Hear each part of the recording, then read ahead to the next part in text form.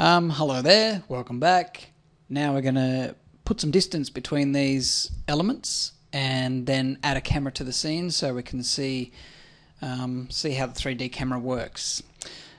Uh, so first up, I'm going to introduce you to the top view because that will um, that will show you how these elements are arranged in a 3D space. Now, every scene in Toon Boom has a virtual kind of 3D space um, through which you can move elements like characters and cameras and things like that. So um, you'll find the top view in any of these panels. Um, you can click the little uh, panel arrow and choose top. That's a, a, camera view, and side is a camera view as well. So I'm just going to choose top here, and there's your top view. Um, I'll minimize the color so you can see a bit better. Just move this, this across this bit.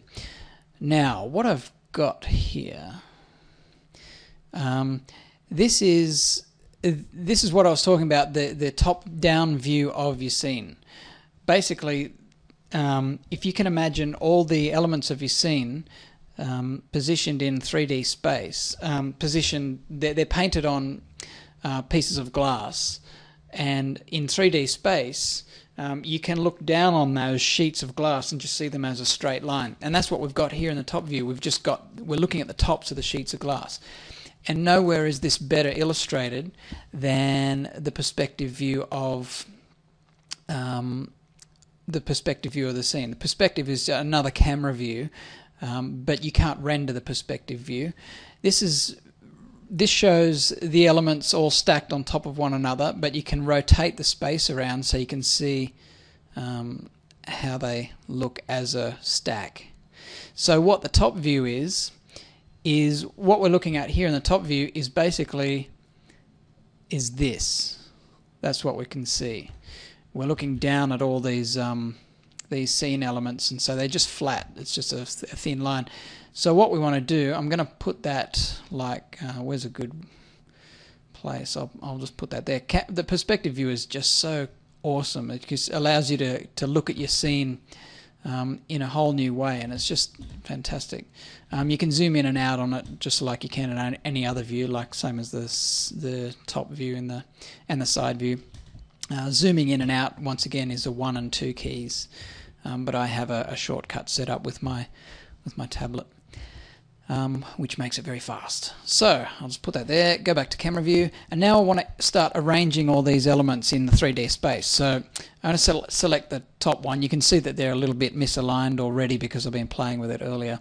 But I'll, uh, I'll pull pull those uh, foreground bushes forward. What I've done is selected it in the timeline, and then with the move tool up here, I can pull it forward or back into the scene. And you can see this little list of um, of scene elements on the left of the top view shows the the order in which the the elements are. So if I push this this um, this foreground bush, which you can see at the bottom of the list, if I push it back, you can see that it moves to the to the top of the stack, which you know is the other way around of um, of how you'd imagine it. At the top of the stack equals the back of the scene in this in the top view in this particular case. But anyway, uh, beside the point um, which is we're just going to move these elements now in 3D space and put them in a, in a kind of order that that uh, makes it possible to have um, depth in our camera moves. So um, I will. I'm going to move the sky back first, and I'll just introduce you to a cool little um, thing.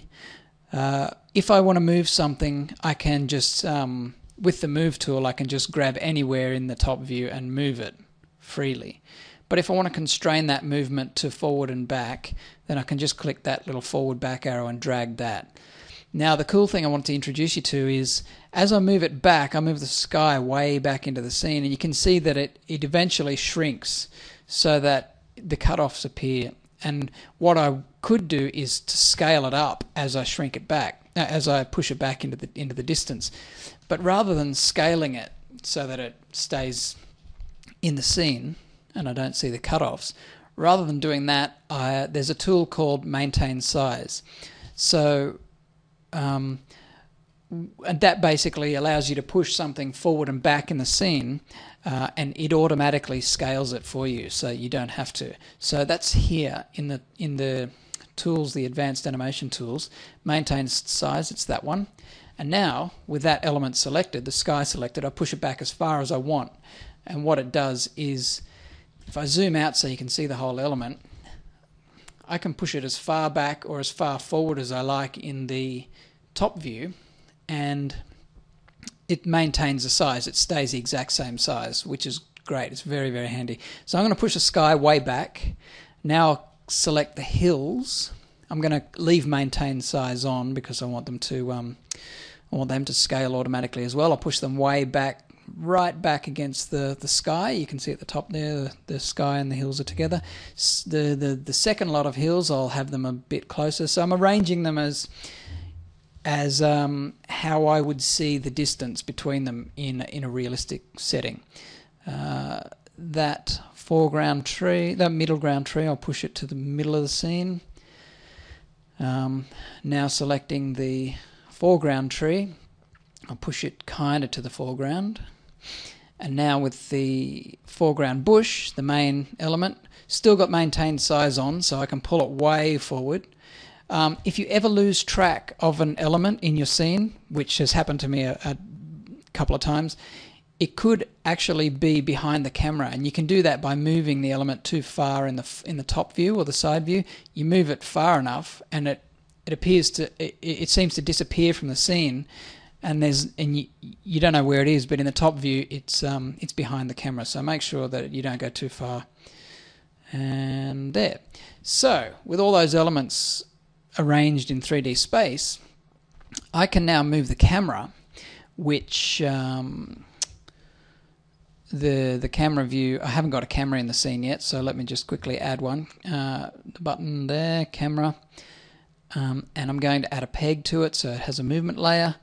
And now I can move that camera up and down, and you can see just how much depth there is in the scene. I can move it side to side and you can see this moving in the top view as well. You can move it around in the top view if you like, if that's where you want to do it. And you can keyframe this. So um, up and down, way up in the sky, going down the trees. This really puts a lot of depth into your scene, something that you don't get just by rotating the camera up and rotating down, which is a flat pan. So um, before we wrap this one up, um, I'll just animate that, that thing. If we just quickly flick back to the perspective view, uh, I'll zoom way out and you can see now that these elements have some distance between them. And uh, once again, this perspective view is just the best thing ever. Um, that that grid that you can see there in the middle of the scene, that's just a kind of a, a kind of basis, kind of base thing for you to to help you position your elements at the scene center. But uh, yeah, this is really cool. Just like setting up a little paper cutout of your scene it's just great to be able to visualize it that way.